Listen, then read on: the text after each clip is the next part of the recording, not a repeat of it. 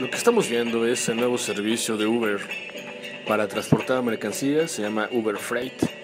Se trata de un camión autónomo que se llama Otto y que ya hizo su primer viaje de cerveza por las carreteras de Estados Unidos. ¿Cómo funciona este servicio? Pues a través de What's New. Eh, nos enteramos que Uber Freight está abriendo solicitudes para camioneros y personas que estén interesadas. No está abierto ahorita a todo el público.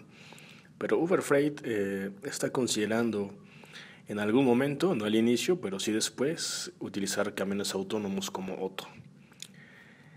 Es, es necesario eh, pensar, eh, después de las polémicas por los servicios, de las prohibiciones en varios países del servicio de Uber, si extender este tipo de opciones sea lo mejor. Es una opción muy interesante, pero habrá que pensar en las regulaciones, eh, en los empleos que se pueden perder o en los que se pueden generar. Va a ser todo un cambio. Por lo pronto, Otto suena bastante interesante.